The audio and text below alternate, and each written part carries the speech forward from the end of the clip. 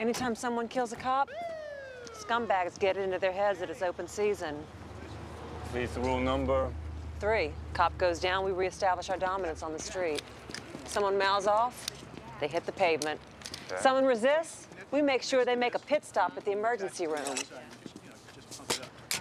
We gotta make sure these assholes know who's in charge, right? Loud and clear.